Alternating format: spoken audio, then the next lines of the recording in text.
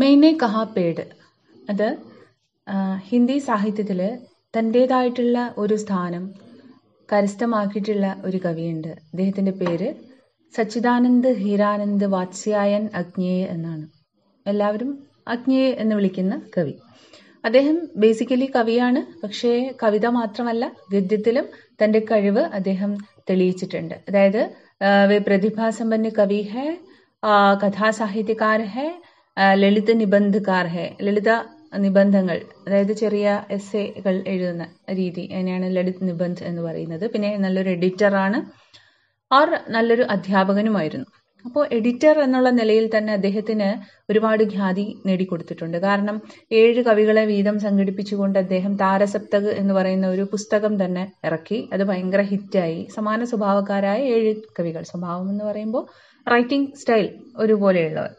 അങ്ങനെ അത് താരസപ്തക് ഹിറ്റായപ്പോൾ അദ്ദേഹം അതിന്റെ അടുത്ത എഡിഷൻ ഇറക്കി. പുതിയ ഏഴുപേരെ വെച്ച് അങ്ങനെ മൊത്തം നാല് സംസ്കരൺ നാല് എഡിഷൻസ് വന്നിട്ടുണ്ട്. ഏഴും ഏഴ് സെറ്റ് കവികൾ പുതിയത് പുതിയ ആൾക്കാരെ പരീക്ഷിച്ചിട്ടാണ് അദ്ദേഹം ചെയ്തത്. അതിന്റെ പേരിൽ തന്നെ ഒരു പുതിയ കാവ്യധാര തന്നെ അദ്ദേഹം കൊണ്ടുവന്നു എന്ന് വേണമെങ്കിൽ പറയാം. അപ്പൊ അതാണ് അദ്ദേഹത്തെ ഹൈലൈറ്റ് ചെയ്ത് പറയേണ്ട ഒരു പ്രധാനപ്പെട്ട കാര്യം. അദ്ദേഹം ഒരു നല്ല എഡിറ്റർ ആയിരുന്നു. താരസപ്തക് അദ്ദേഹത്തിന്റെ പേരുമായി കണക്ട് ചെയ്ത് പറയേണ്ടുന്ന ഒന്നാണ് താരസപ്തക് എന്ന് പറയുന്നത്. അത് അദ്ദേഹത്തിന്റെ പുസ്തകമാണ് കവിതാ പുസ്തകമാണ് അദ്ദേഹം ആദ്യത്തതിൽ അദ്ദേഹവും കവിത എഴുതിയിട്ടുണ്ട്. പിന്നീടുള്ളതിലൊക്കെ മറ്റുള്ള ഏഴുപേരെ വീതം സംഘടിപ്പിച്ചാണ് അദ്ദേഹം എഴുതിയിട്ടുള്ളത്. അപ്പോൾ അദ്ദേഹത്തിന്റെ രചനകൾ എന്ന് പറയുമ്പോൾ കുറച്ച് എന്താ പറയുക കവിതകൾ കവിതകളാണ് പ്രധാനപ്പെട്ട പ്രധാനപ്പെട്ടതായിട്ടുള്ളത്. അതിൽ അരി ഖാസ്ഫർ ഷെൺഫർ ബാവര ഹേരി അരി ഓ കരുണ പ്രഭാമയി അങ്ങനെ കുറേയധികം കവിതകൾ അദ്ദേഹത്തിന്റെതായിട്ട് വന്നിട്ടുണ്ട്. പിന്നെ ശേഖർ എക്ക് ജീവനി എന്ന പേരിൽ അദ്ദേഹം എഴുതിയ ഒരു നോവൽ. അതിന്റെ ഒരു പ്രത്യേകത എന്താന്ന് പറഞ്ഞാൽ ആ ഒരു ഒറ്റ കഥാപാത്രത്തെ വെച്ച് അത്രയും വലിയ പുസ്തകം അദ്ദേഹം ഇറക്കി എന്നുള്ളതാണ്. വലിയ നോവലാണ്. ശേഖർ എന്ന വ്യക്തിയുടെ മനോവ്യാപാരങ്ങൾ ഒരു സൈക്കോളജിക്കൽ അപ്രോച്ചിൽ സമീപിച്ചിരിക്കുകയാണ് അദ്ദേഹം. അപ്പോൾ അത് വളരെയധികം ഹിന്ദിയിൽ ചർച്ച ചെയ്യപ്പെട്ടിട്ടുള്ള ഒരു നോവലാണ് ശേഖർ ഏക്ക് ജീവനി എന്ന് പറയുന്നത്. ഒരുപാട് പുരസ്കാരങ്ങൾ അദ്ദേഹത്തെ തേടിയെത്തിയിട്ടുണ്ട്. സാഹിത്യ അക്കാദമി ജ്ഞാനപീഠ പുരസ്കാരം അങ്ങനെ ഇന്ത്യയിൽ കിട്ടാവുന്ന പരമോന്നത പുരസ്കാരമാണല്ലോ സാഹിത്യത്തിന് ജ്ഞാനപീഠം എന്ന് പറയുന്നത്. അപ്പോൾ അതുൾപ്പെടെ ഒരുപാട് പുരസ്കാരങ്ങൾ അദ്ദേഹത്തെ തേടി വന്നിട്ടുണ്ട്. അപ്പോൾ അങ്ങനെ സാഹിത്യത്തിന് ഒരു തൻ തന്റെതായ ഒരുപാട് കാര്യങ്ങൾ അല്ലെങ്കിൽ വ്യക്തിമുദ്ര പതിപ്പിച്ചിട്ടുള്ള വ്യക്തിയാണ് അദ്ദേഹം എന്ന് വേണമെങ്കിൽ നമുക്ക് പറയാം. മെനെ കഹ എന്ന് പറയുന്നത് അദ്ദേഹം ജപ്പാനിൽ ടോക്കിയോയിൽ വെച്ചിട്ട് എഴുതിയിട്ടുള്ള ഒരു കവിതയാണ്. ജപ്പാനുമായിട്ട് അദ്ദേഹത്തിന് ഒരു വിശിഷ്ട ബന്ധമുണ്ട്. ഇത് കൂട്ടത്തിൽ അതും പറയണം. ഹൈക്കു കവിത എന്നൊന്ന് നിങ്ങൾ പ്ലസ് ടു ക്ലാസ്സുകളിൽ പരിചയപ്പെട്ടിട്ടുണ്ടാകണം ഹൈക്കു. അപ്പോൾ ഹൈക്കു കവിതകളെ ഒരുപാട് അദ്ദേഹം ഇഷ്ടപ്പെട്ടിരുന്നു. അപ്പോൾ ഒരുപാട് കവിതകൾ അദ്ദേഹം ജപ്പാനീസിൽ ഹൈക്കു കവിതകൾ എഴുതി. അപ്പോൾ അവിടുത്തെ ആ ഒരു സ്റ്റൈൽ അനുകരിച്ച് അദ്ദേഹം ഇവിടെയും ഹൈക്കു ഒരുപാട് ചെയ്തിട്ടുണ്ട്. അപ്പോൾ അത് അദ്ദേഹത്തിന്റെ മറ്റൊരു പ്രത്യേകതയാണ്. അപ്പോൾ നമ്മൾ മേനെ കഹ പേടിസെ എന്ന് പറയുന്ന ആ കവിതയിൽ നമ്മൾ കാണുന്ന അദ്ദേഹത്തിന്റെ പ്രകൃതി സ്നേഹമാണ്. പ്രകൃതിയോടുള്ള അദ്ദേഹത്തിന്റെ അറ്റാച്ച്മെന്റ് ആണ് നമുക്ക് അവിടെ കാണാൻ സാധിക്കുന്നത്. ഒരു റിയാലിറ്റി ഒരു ഫാക്റ്റ് അദ്ദേഹം വളരെ സിമ്പിളായ ഭാഷയിൽ നമ്മുടെ മുന്നിൽ അവതരിപ്പിക്കുന്നു. അത്രയേ ഉള്ളൂ. ഒരുപാട് ഇന്നർ മീനിങ്ങുകളൊന്നും അതിനകത്തില്ല. നമ്മൾ കുറച്ചൊന്ന് ചിന്തിച്ചാൽ നമ്മുടെ ചുറ്റുവട്ടത്ത് കാണുന്ന അതേ കാര്യം നമ്മുടെ പ്രകൃതിയിൽ സംഭവിച്ചുകൊണ്ടിരിക്കുന്ന അതേ കാര്യം അദ്ദേഹം പറഞ്ഞിരിക്കുന്നു അതാണ് മേനെ കഹാ പേഡ്സെ മേനെ കഹാ പേഡ്സെ മേനെ കഹാ पेड़ तुम इतने बड़े हो इतने कड़े हो न जाने कितने सौ बरसों के आंधी पानी में सिर ऊंचा किए अपनी जगह अड़े हो सूरज उगता डूबता है चांद ഭർത്ത ഛീജിത ഹെ അപ്പോൾ വൃക്ഷത്തോട് അദ്ദേഹം സംവദിക്കുകയാണ് മെനെ കഹാ ഞാൻ പറഞ്ഞു കിസെ കഹാ മെനെ പേഡ് സെ കഹാ ए पेड़ तुम इतने बड़े हो मैंने पेड़ से कहा कि ए पेड़ तुम ഇത്തനെ ബഡേ ഹോ നീ ഇത്ര ആ, വലുതാണ് ഹേ വൃക്ഷമേ എന്ന് പറഞ്ഞു ഇത്തനെ കടേ ഹോ തു ഇത്തന ആ, കടാ ഹെ കടാ മീൻസ് കരുത്തനായത് അല്ലെങ്കിൽ ഉറപ്പുള്ളതെന്നാണ് തു ഇത്തനെ കടേ ഹോ न जाने कितने सौ बरसों के आंधी पानी में സിർ ഊഞ്ചാക്കിയെ അപ്നി ജഗ അടേ ഹോ ജഗ പർ അടേ രഹന എന്ന് പറഞ്ഞാൽ സ്വന്തം സ്ഥലത്ത് ഉറച്ചു നിൽക്കുക എന്നാണ് तो मैंने पेड़ से कहा कि तुम इतने कड़े और बड़े हो कि कितने सौ बरसों के ആന്ധി പാനി ഝേലേ ഹോ അതായത് നൂറുകണക്കിന് വർഷങ്ങളുടെ ആന്ധിയും പാനി ആന്ധി പാനി എന്ന് പറയുന്നത് ആന്ധി എന്ന് പറയുന്നത് വലിയ കാറ്റാണ് ചുഴലിക്കാറ്റും അതുപോലെ മഴയും ഒക്കെ സഹിച്ച് നീ നിന്നില്ലേ? ഇത്രയുമൊക്കെ സഹിച്ച് നീ പിടിച്ചു നിന്നില്ലേ എന്ന് ഞാൻ വൃക്ഷത്തോട് ചോദിച്ചു. ആ അപ്പൊ ഇത്രയും നീ അനുഭവിച്ചിട്ടുണ്ടെങ്കിൽ തു കിത്തനെ കടേ ഹോ നീ എത്ര കരുത്തനാണ്. സിർ ഊഞ്ചാ കിയെ അപ്നി ജഗ അടേ ഹോ എന്തു തന്നെ വന്നിട്ടും എന്ത് പ്രതിസന്ധികൾ വന്നിട്ടും അവിടെയൊന്നും തളർന്നു പോകാതെ അപ്ന സിർ ഊഞ്ചാ കർത്തേ ഹുയെ തല ഉയർത്തിക്കൊണ്ട് തന്നെ അപ്നി ജഗ സ്വന്തം സ്ഥലത്ത്. അഡേഹോ അഡേ രഹന മീൻസ് ഉറച്ചു നിൽക്കുക. തു അപ്നി ജഗ അടേ ഹോ ഏസെ അടേ ഹോ കി അപ്ന സിർ ഊഞ്ചാ കിയേ ഹോ. ഇത്രയും ഉറച്ചു നിൽക്കുകയാണ് നീ നിന്റെ തല ഉയർത്തിപ്പിടിച്ച് തന്നെയാണ് നീ ഇന്നും നിൽക്കുന്നത്. സൂരജ് ഉഗുത്ത ഡൂബ്ത ഹെ ചാൻ ഭർത്ത ഝീജിത ഹെ. പ്രകൃതിയിൽ ഉണ്ടാകുന്ന മറ്റു മാറ്റങ്ങൾ നീ കാണുന്നില്ലേ? സൂര്യൻ എന്തു ചെയ്യുന്നു? ഉഗതാഹെ ഓർ ഡൂബ്താഹെ? സൂര്യജ് ഉഗുത്ത ഓർ ഡൂബ്താഹെ? സൂര്യൻ ഉദിക്കുകയും അസ്തമിക്കുകയും ചെയ്യുന്നു. ചാന്ത് ഭർത്താഹെ ജീജിതാഹെ? ഭർണ എന്ന് പറഞ്ഞാൽ നിറയുക. നിറയുന്ന ചന്ദ്രന്റെ നിറയുന്ന അവസ്ഥ എന്ന് പറയുന്നത് ആ പൂർണ പൂർണചന്ദ്രന്റെ അവസ്ഥയാണ്. ഭരാ ചാന്ത് അപ്പോ ചന്ദ്രൻ പൂർണചന്ദ്രനാകുന്നു ഓർ ജീജിതാഹെ? ജീജന എന്ന് പറയുന്ന ആ മെലിയുന്ന അവസ്ഥ. അപ്പൊ ചന്ദ്രൻ ചന്ദ്രകലയായിട്ട് നമ്മൾ കാണുന്ന ആ സമയം. അപ്പൊ ചാന്ത് ഭർത്താഹെ ഓർ ജീജിതാഹെ? ചന്ദ്രൻ പോലും തന്റെ പൂർണ്ണാവസ്ഥയിലെത്തുന്നു പിന്നീട് അത് മെലിയുന്നു അതൊക്കെ നീ കാണുന്നില്ലേ ഓർ സൂരജ് ഉഗത ഹെ ഡുബ്ത ഹെ സൂര്യൻ ഉദിക്കുകയും അസ്തമിക്കുകയും ചെയ്യുന്നു എന്ന് പറഞ്ഞാൽ എല്ലാവരും അവരവരുടെ കാരണങ്ങൾ അനുസരിച്ച് മാറുന്നു നീ മാത്രം എന്താണ് ഇങ്ങനെ മാറ്റമില്ലാതെ നിലകൊള്ളുന്നത് ऋतुएं बदलती है मेघ उमड़ता है पसीजता है और तुम सब सहते हुए संतुलित शांत धीर रहते हुए विनम्र हरियाली से ढके पर भीतर ठोठ कठेठे खड़े हो ഋതുവേം ബദൽത്തി ഹെ ഋതുക്കൾ മാറുന്നുണ്ട് ദേഖോ കി ഋതുവേം ബദൽ രഹി ഹെ ഋതുക്കൾ മാറുകയാണ് കാലം മാറുന്നു അല്ലെ മഴ വരുന്നു വേനൽ വരുന്നു ഗ്രീഷ്മം വരുന്നു വസന്തം വരുന്നു നീ ഇതൊന്നും കാണുന്നില്ലേ മേഘ് ഉമടുത്ത ഹെ പസീജിത ഹെ ഉമടുന മേഘ് ഉമടുന എന്ന് പറഞ്ഞാൽ മേഘം ഉരുണ്ടുകൂടുക എന്നാണ് പസീജിന എന്ന് പറഞ്ഞാൽ അത് പെയ്തൊഴിയുക അതാണ് അപ്പം മേഘം ഉരുണ്ടുകൂടുകയും പെയ്യുകയും ചെയ്യുന്നു. എന്ന് പറഞ്ഞാൽ മേഘ ഉമടുത്താ ഹെ ഓർ ബാരിഷാത്തി ഹെ. മേഘം ഉരുണ്ടുകൂടുന്നു പെയ്യുന്നു. അതായത് മേഘത്തിനും മാറ്റങ്ങൾ ഉണ്ടാകുന്നു. ഋതുക്കൾ മാറിക്കൊണ്ടിരിക്കുന്നു. ഓർ തും ഓർ തും. പക്ഷെ നീ സബ് സഹത്തേ ഹുയേ. എന്ത് തന്നെ സംഭവിച്ചാലും സബ് സഹത്തേ ഹുയെ. എല്ലാം സഹിച്ചുകൊണ്ട് പ്രകൃതിയിൽ ഉണ്ടാകുന്ന ഏതൊരു മാറ്റത്തെയും ഉൾക്കൊണ്ടുകൊണ്ട് നീ അങ്ങനെ അനങ്ങാതെ നിൽക്കുകയാണല്ലോ. തും സബ് സഹത്തെ ഹുയെ സന്തുലിത് സന്തുലിതാവസ്ഥ എന്ന് പറഞ്ഞാൽ അസ്ഥിരമായ അവസ്ഥയാണ്. സ്ഥിരമായ അവസ്ഥ. ഒരു മാറ്റവുമില്ലാതെ ബാലൻസ്ഡായി നിൽക്കുന്നു. ശാന്ത് ഹോ ഒന്നിലും പതരാതെ വളരെ ശാന്തനായി ധീരുഹോ ധീര ധീരതയോടെ ധൈര്യത്തോടെ രഹത്തെ ഹുയെ രഹത്താഹെത്തു നീ ഏതവസ്ഥയിലും സബ് കുച്ച് സഹത്തെ ഹുയെ സന്തുലിത് ഹോക്കർ ശാന്ത മനസ്ഥിതി സേ ധീരജ് കെ സാത്ത് തും രഹത്തെ ഹോ. വിനമ്ര വിനമ്രത ഭി തുമാറാ ഗുണ ഹെ. വളരെ നമ്രനാണ് നീ നമ്ര ശിരസ്കനാകുക എന്ന് പറഞ്ഞാൽ തല കുമ്പിടുക എന്നാണ് അപ്പോ മരങ്ങളുടെ ഒരു പ്രത്യേകതയാണ് അല്ലെ? ഫലങ്ങൾ കൂടുന്തോറും അത് കുമ്പിടുകയാണ് ചെയ്യുക. മനുഷ്യരെ പോലെയല്ല. മനുഷ്യരിൽ ക്വാളിറ്റീസ് കൂടുമ്പോൾ നമ്മൾ കൂടുതൽ അഹങ്കാരികളായിട്ട് മാറും എന്ന് പറയും. പക്ഷേ വൃക്ഷങ്ങൾ അങ്ങനെയല്ല. ഫലങ്ങളുടെ ഭാരം കൊണ്ട് അത് ഒന്നുകൂടി കുമ്പിടുകയാണ് ചെയ്യുന്നത്. അപ്പൊ അതും അവിടെ പറയുന്നുണ്ട്. വിനമ്രഹോ നിന്റെ ഒരു പ്രത്യേകതയാണ് നിന്റെ ഈ ഹംബിൾനെസ് ഹരിയാലീസെ ഢക്കേ ഢക്കന എന്ന് പറഞ്ഞാൽ മൂടുക. തും തോ ഹരിയാലീസെ ഢക്കേ ഹുയേ ഹോ ഹമേഷ എപ്പോഴും പച്ചപ്പ് കൊണ്ട് മൂടിയവനാണ് നീ. പച്ചപ്പ് മൂടിയ അവസ്ഥയിലാണ് നീ. അപ്പോ പുറമേ ബാഹർ സെ ഹരിയാലി സെ ढके हुए हैं पर भीतर ठोठ കടേഠേ ഖടേ ഹോ ഭീതർ എന്ന് പറഞ്ഞാൽ ഉള്ളാലെ ഉള്ളിൽ അന്തർ സെ ഠോഠ് കടേഠേ ഖടേ ഹോ ഉറപ്പുള്ള തടിയാണ് ഠോട്ട് കഠേഡ എന്ന് പറയുന്നത് കഠേഡ എന്ന് പറഞ്ഞാൽ അത്രയും ഉറപ്പോടെ നിൽക്കുന്ന ആ ഒരു അവസ്ഥയാണ് ഒരു കഠേഡേ ഘടേഹോ വളരെ കാഠിന്യത്തോടെ ഉറപ്പോടെ ഇപ്പൊ പുറത്ത് നേർത്ത ഇലകളാൽ പൊതിഞ്ഞിരിക്കുന്നു. എന്നാൽ ഉള്ളിൽ അത്രയും പുറമേ കാണുന്ന ആ സോഫ്റ്റ്നെസ് ഉള്ളിലില്ല. അകത്ത് എന്താണ്? അത്രയും ഹാർഡാണ് നീ. വിനമ്ര ഹരിയാലിസെ ഢക്കെ വളരെ വിനമ്രതയോടെ പച്ചപ്പാൽ പൊതിച്ച് എന്നാൽ ഉള്ളിൽ അത്രയും കാഠിന്യമുള്ള തടിയായിക്കൊണ്ട് നീ നിലനിൽക്കുന്നു. ഏതവസ്ഥയിലും പതരാതെ നീ നിലനിൽക്കുന്നു.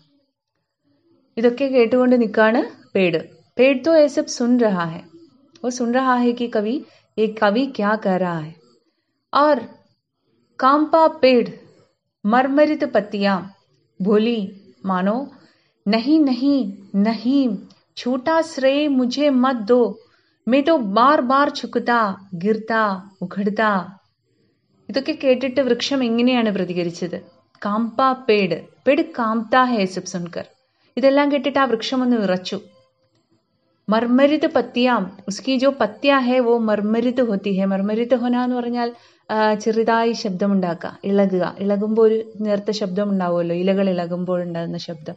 അപ്പോൾ മർമരിത് ഹോത്തി ഹേ ഉസ്കി പത്തിയാം ആർ ബോലി എന്നിട്ട് വൃക്ഷം പറഞ്ഞു മാനോ മനോ എന്ന് പറഞ്ഞാൽ അതൊരു കൽപ്പനയാണ്. വൃക്ഷം ആ ഇലകൾ അനക്കുമ്പോൾ കവി ആ ഇലകളുടെ ശബ്ദം കേൾക്കാൻ ശ്രമിക്ക ശ്രമിക്കുകയാണ്. അപ്പോൾ ഇലകളുടെ ആ സംഗീതം കവി മനസ്സിലാക്കുന്നത് എന്നോട് വൃക്ഷം എന്തോ പറയുന്നു എന്ന നിലയ്ക്കാണ്. ഇലകൾ അനങ്ങുമ്പോൾ ഉണ്ടാകുന്ന ശബ്ദം കവി മനസ്സിലാക്കുന്നത് വൃക്ഷം എന്നോട് കമ്മ്യൂണിക്കേറ്റ് ചെയ്യുന്നു എന്നാണ്. ആ ഇലകളുടെ അനക്കത്തിൽ കവി കേട്ടത് ഇതാണ്. അതായത് വൃക്ഷം പറഞ്ഞത് ഇങ്ങനെയാണ്. നഹീം നഹീം നഹീം അല്ല അല്ലേ അല്ല ഛൂട്ടാ ശ്രേ മുझे മത് ദോ. എന്നെ ഇങ്ങനെ മിഥ്യാ പ്രശംസ നടത്തരുതേ. എനിക്ക് ഞാൻ അർഹിക്കാത്ത ആദരവ് തരരുത് എന്നാണ് വൃക്ഷം പറയുന്നത്. ശ്രേ എന്ന് പറയുന്നത് കീർത്തിയാണ് പ്രശസ്തി. ആ മുജെ ഝൂട്ടാ പൊള്ളയായ. എന്ന് വെച്ചാൽ അതിൽ വാസ്തവമില്ല. നിങ്ങൾ ഈ പറഞ്ഞതിലൊന്നും ഒരു വാസ്തവവുമില്ല എന്നാണ് പറയുന്നത്. അപ്പോൾ എനിക്ക് എന്നെ കുറെ പ്രശംസിച്ച് നിങ്ങൾ സംസാരിച്ചു. ഓ സബ് ഛൂട്ടാ ഹേ. അതൊന്നും വാസ്തവമല്ല. നിങ്ങൾ പറയുന്നതിനപ്പുറമാണ് ഞാൻ. എന്തൊക്കെയാണ് ഞാൻ? മെത്തോ ബാർ ബാർ ചുക്താ ഹേ ഗിർത്താ ഹേ ഉഘടത്താ ഹേ. അപ്പോ ഈ കവി ആദ്യം പറഞ്ഞിരുന്നല്ലോ ഏത് കാലാവസ്ഥയിലും അടിപതരാതെ വളരെ ഉറച്ച മനസ്സോടെ നീ നിൽക്കുന്നു. പുറമേ വളരെ സോഫ്റ്റ് ആയിട്ട് കാണപ്പെട്ടാലും നീ ഉള്ളിൽ വളരെ കരുത്തനായി കാണപ്പെടുന്നു. മഴ വരുന്നു വെയിൽ വരുന്നു കാറ്റ് വരുന്നു. അല്ലെങ്കിൽ സൂര്യൻ ഉദിക്കുന്നു അസ്തമിക്കുന്നു. അങ്ങനെ ഋതുക്കൾ മാറുന്നു അങ്ങനെ പ്രകൃതിയിൽ ഉണ്ടാകുന്ന ഒരു മാറ്റവും നിന്നെ സ്വാധീനിക്കുന്നില്ലല്ലോ എന്ന് കവി പറഞ്ഞതിന്റെ മറുപടിയായിട്ട് പറയാണ് മേ ഏസാ നഹി ഹൂം ഞാൻ അങ്ങനൊന്നും ഉള്ള ആളല്ല മെത്തോ ബാർ ബാർ ചുക്താഹും പലപ്പോഴും ഞാൻ എന്ത് ചെയ്യാറുണ്ട്? ചുക്കുത്താഹെ ചു ചുക്ന എന്ന് പറഞ്ഞാൽ ബെൻഡ് ചെയ്യുക ഞാൻ വളഞ്ഞു പോകാറുണ്ട്. ഏ പലപ്പോഴും ഞാനിങ്ങനെ ഉറച്ചു നിൽക്കുന്ന ആളല്ല പലപ്പോഴും ഞാൻ വളഞ്ഞു പോകാറുണ്ട്. കാറ്റിനനുസരിച്ചാകാം അല്ലെങ്കിൽ കാലാവസ്ഥ അനുസരിച്ച് ഗിർത്താഹെ. പല പലപ്പോഴും വളഞ്ഞ് ഒടിഞ്ഞു പോകാറുണ്ട് ഗിർത്താഹെ അല്ലേ? അപ്പോ ചുക്താഹെ ഓർ ഗിർത്താഹെ ചിലപ്പോൾ വളഞ്ഞു പോകാറുണ്ട് അല്ലെങ്കിൽ ചാഞ്ഞു പോകുന്ന ആ അവസ്ഥയാണ്. കാറ്റിനനുസരിച്ചൊക്കെ മരം ചാഞ്ഞു പോകുന്നു അല്ലെങ്കിൽ ഗിർത്താഹെ ചിലപ്പോൾ വീണു പോകാറുണ്ട്. ഓർ ഉഘടുത്താഹെ ഉഘടന എന്ന് പറഞ്ഞാൽ പിഴുതു വീഴുക എന്നാണ്. വേരോടെ പിഴുതു പോകാറുണ്ട്. അതായത് കാലാവസ്ഥയ്ക്കനുസരിച്ച് ചിലപ്പോൾ ഞാൻ വളഞ്ഞു പോകുന്നു ചാഞ്ഞു പോകുന്നു ചിലപ്പോൾ ഒടിഞ്ഞു പോകുന്നു കമ്പും ശിഖരങ്ങളൊക്കെ ഒടിഞ്ഞു പോകുന്നു മറ്റു ചിലപ്പോൾ വേരോട് തന്നെ പിഴുതു പോകാറുണ്ട് അതായത് ഈ കാലാവസ്ഥയിലൊക്കെ അനങ്ങാതെ നിൽക്കുന്ന ആളേ അല്ല ഞാൻ എന്ന് വൃക്ഷം പറയുന്നു യാക്കി സൂഖ് ढूंढ होके टूट जाता श्रेय है तो मेरे पैरों तले इस मिट्टी को जिसमें ना जाने कहाँ मेरी जड़ें घोई हैं ऊपर उठा हूं उतना ही आकाश में യാക്കി സൂഖ് ഢൂണ്ട് ഹോക്കെ ടൂട്ട് ജാത്ത സൂഖ് ഢൂണ്ട് എന്ന് പറയുന്നത് അതിന്റെ സ്റ്റമ്പാണ് സ്റ്റമ്പ് അതായത് ഇലയും ശാഖകളും ഒന്നും ഇല്ലാതെ തടി മാത്രമായിട്ട് നിൽക്കുന്ന അവസ്ഥ ഉണങ്ങി വൃക്ഷം ഉണങ്ങി ഇലയും കമ്പും ഒന്നും ഇല്ലാണ്ട് തടി മാത്രമായിട്ട് നിൽക്കുന്ന ആ ഒരു അവസ്ഥയാണ് അപ്പോൾ അതാണ് കഭി മേത്തോ ഝുക്താഹും ഗിർത്താഹും കഭി ഉഘടത്താഹും ഓർ കഭി സൂഖ് കർ സൂഖ് സൂഖ് കർ സിർഫ് ടൂണ്ട് ബൻകർ ടൂട്ട് ജാത്താഹും അതായത് ചിലപ്പോൾ ഉണങ്ങിപ്പോവാറുണ്ട് ഉണങ്ങി എന്താണ് വെറുമൊരു ഉണക്ക കമ്പ് മാത്രമായി ഞാൻ ചിലപ്പോൾ പിഴുത് വീഴാറുണ്ട് ഉണങ്ങി നശിച്ചു പോകാറുണ്ട്. ശ്രേ ഹെത്തോ മേരെ പേരോം തലേ ഇസ് മിട്ടിക്കോ പിന്നെ ഞാനിവിടെ നിലനിൽക്കുന്നുണ്ടെങ്കിൽ ഉസ്കാ പൂരാ ശ്രേ കിസ്കോ ജാത്താ ഹെ മിട്ടി കോ ജാത്താ ഹെ. എന്നെ ഇവിടെ പിടിച്ചു നിർത്തുന്നത് മറ്റാരുമല്ല മിട്ടി ഹെ മണ്ണാണ്. ഞാനിവിടെ നിലനിൽക്കുന്നുണ്ടെങ്കിൽ അതിന് കാരണം മണ്ണാണ്. ശ്രേയ് ഉസ്കാ ശ്രേയ് തോ അതിനുള്ള ഫുൾ ക്രെഡിറ്റും മണ്ണിനാണ്. മേരെ പേരോം തലേ എന്റെ കാൽച്ചുവട്ടിലുള്ള പേരോം തലേ എന്ന് പറയുന്നത് അതാണ് പേർക്കെ നീച്ചേക്ക്. मेरे पैर के नीचे जो मिट्टी है वही मुझे ऐसा सिर उठा के रहने में मेरी മദത് കർത്തി ഹെ ഇങ്ങനെ തല ഉയർത്തി നിൽക്കാൻ എന്നെ ആരെങ്കിലും സഹായിക്കുന്നുണ്ടെങ്കിൽ അതെന്റെ കാൽച്ചുവട്ടിലെ മണ്ണാണ് ജിസ്മേം ना जाने कहाँ मेरी जड़ें हुई है मुझे भी नहीं पता कि मेरी जड़ें कहाँ तक फैली हुई है इस मिट्टी में ഈ മണ്ണിൽ എന്റെ വേരുകൾ എവിടെ വരെ വ്യാപിച്ചു കിടക്കുന്നു എന്നെനിക്ക് അറിയുകയില്ല. എന്റെ എന്റെ വേരുകൾ അത്രത്തോളം ഈ മണ്ണിൽ വ്യാപിച്ചു കിടക്കുന്നു. എന്റെ വേരിനെ പൊതിഞ്ഞു പിടിച്ചിരിക്കുകയാണ് ഈ മണ്ണ്. അപ്പോൾ എന്നെ ഇവിടെ പിടിച്ചു നിർത്തുന്ന ആൾ മണ്ണ് തന്നെയാണ്. ഊപ്പരുഢാഹു മുത്തനാഹി ആകാശമേം എത്രത്തോളം എൻ്റെ വേരുകൾ നിലത്ത് താഴേക്ക് സ്പ്രെഡ് ചെയ്ത് കിടക്കുന്നുണ്ടുവോ അത്രത്തോളം എനിക്ക് ആകാശത്തേക്ക് തല ഉയർത്തി നിൽക്കാനായി സാധിക്കുന്നു അതായത് എത്ര വേര് മണ്ണിലേക്ക് ആഴ്ന്നിട്ടുണ്ടോ അത്രയും കരുത്ത് ആ വൃക്ഷത്തിനുണ്ടാകും അതനുസരിച്ച് ആ വൃക്ഷം തല ഉയർത്തി നിൽക്കും जितना कि मेरी जड़ें नीचे दूर धरती में समाई है ओ जिसमें न जाने कहाँ मेरी जड़ें खोई है ऊपर उठा हूँ उतना ही आकाश में जितना कि मेरी जड़ें നീച്ചെ ദൂര ധരത്തിമേം സമായി ഹെ അപ്പോൾ എത്രത്തോളം ഞാൻ ആകാശത്തേക്ക് തലയുയർത്തി നിൽക്കുന്നുവോ നിങ്ങൾ വിചാരിച്ചോളണം അത്ര തന്നെ എൻ്റെ വേരുകൾ മണ്ണിലാഴ്ന്ന് നിൽക്കുന്നുണ്ട് മണ്ണ് എന്നെ പൊതിഞ്ഞ് പിടിച്ചിട്ടുണ്ട് എന്ന് നിങ്ങൾ മനസ്സിലാക്കണം നീച്ചേ താഴെ ദൂരെ ധരത്തിമേം ധരത്തിമേം ദൂർ ഭൂമിയിൽ അങ്ങ് അകലെ വരെ സമായി ഹേ എന്ന് പറഞ്ഞാൽ സ്പ്രെഡ് ചെയ്ത് കിടക്കുന്നു എന്നുള്ളതാണ്. ശ്രേയ് കുച്ച് മേരാ നഹീം ഇസ്മേ മേരാ ശ്രേയ് ബിൽക്കുൽ വി നഹി ഹേ. ഞാൻ ഇത്രയും ഉറച്ച ശരീരവാനായി തലയുയർത്തി നിൽക്കുന്നുണ്ടെങ്കിൽ അതിന്റെ കീർത്തി എനിക്കല്ല കിട്ടേണ്ടത്. അതിന്റെ ക്രെഡിറ്റ് മേരാ നഹി ഹേ എന്റേതല്ല ജോ ഹേ ഇസ് നാമുഹീന് മിട്ടിക്ക നിങ്ങൾ നിസ്സാരമായി കാണുന്ന നാമുഹീന് എന്ന് പറഞ്ഞാൽ പേരില്ലാത്ത പ്രശസ്തിയില്ലാത്ത ശ്രേയസില്ലാത്ത നിങ്ങൾ ഇത്രയും നിസാരമായി കാണുന്ന മണ്ണിനാണ് ഉസ്കാ ശ്രേയ് ജാത്ത അതിന്റെ മുഴുവൻ ക്രെഡിറ്റും. നോക്കൂ എന്തൊരു ഹൈറ്റുള്ള മരം എന്നേ നമ്മൾ പറയുള്ളൂ.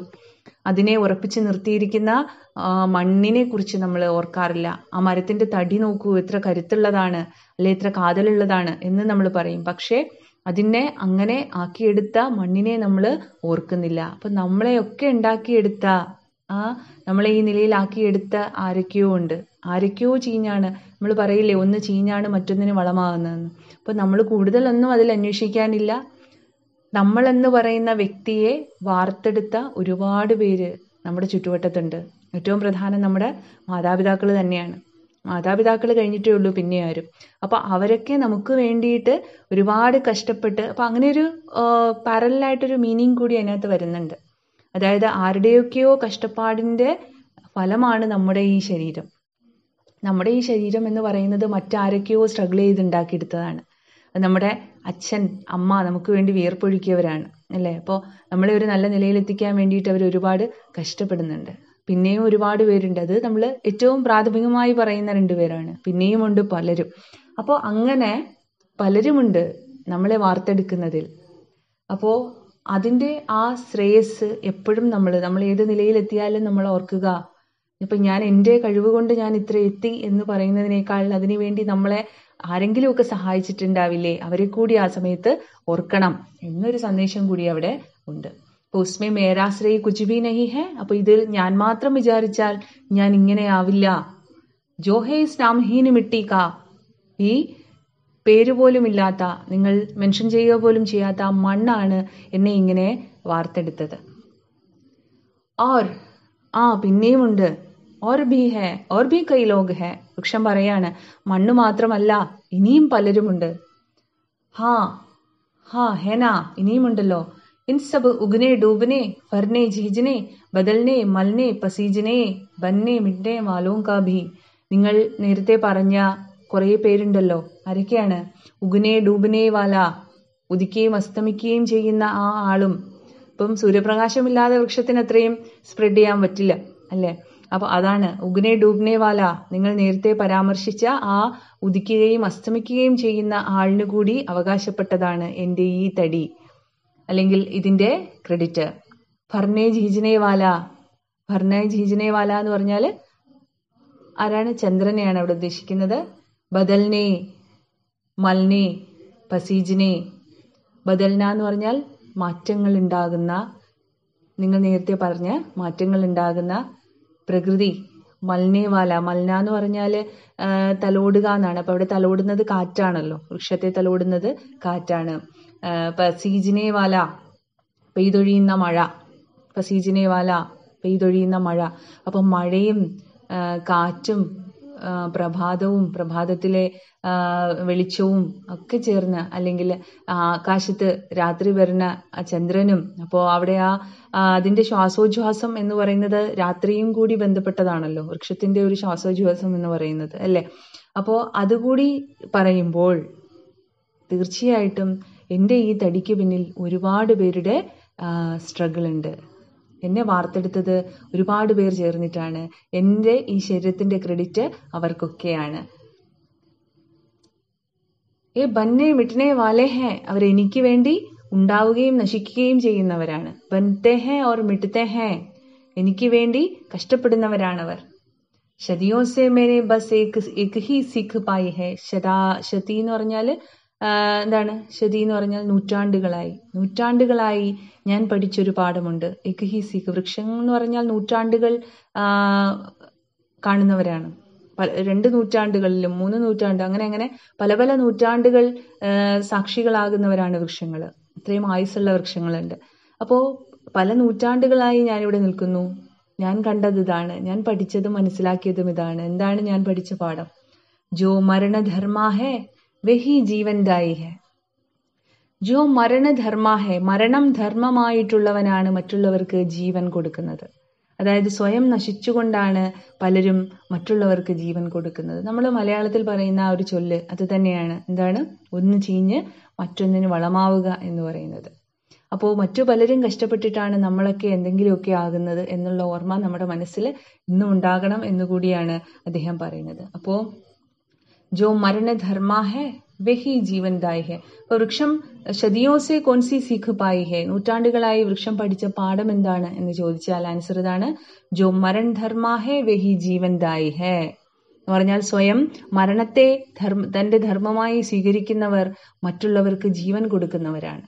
അങ്ങനെ ഒരു പാഠമാണ് കവി വൃക്ഷത്തിൽ നിന്ന് പഠിച്ചത്. അപ്പോൾ വൃക്ഷത്തിൽ നിന്ന് പഠിച്ച ആ പാഠം ഉൾക്കൊണ്ടുകൊണ്ട് നമുക്കും പലതും പഠിക്കാനായിട്ടുണ്ട്. വൃക്ഷത്തിൽ നിന്ന് നമുക്കും ഒരുപാട് പഠിക്കാനുണ്ട്. അതായത് ഇത്രയും കരുത്തനായ ഒരു വൃക്ഷം ഇത്രയും ഹമ്പിളായി സംസാരിക്കുന്നുണ്ടെങ്കിൽ നമുക്കും ഓർക്കാം. ഒന്നുമല്ല എങ്കിൽ നമ്മൾ നമുക്ക് നമ്മളെ വളർത്താൻ അല്ലെങ്കിൽ നമ്മളെ ഇന്നത്തെ നിലയിലേക്ക് എത്തിക്കാൻ ആരെങ്കിലും കൈപിടിച്ച് ഉയർത്താൻ ആരെങ്കിലും ഇല്ല എങ്കിൽ നമ്മൾ എന്തെങ്കിലുമൊക്കെ ആകുമോ എന്ന് നമുക്ക് ചിന്തിക്കാം. അപ്പൊ ഏത് ഉന്നതിയിലും നമുക്ക് നമ്മളെ കൈപിടിച്ച് ഉയർത്തുന്നവരെ കൂടി ഓർക്കാം. അതാണ് ഈ കവിത തരുന്ന ഒരു പ്രധാനപ്പെട്ട സന്ദേശം.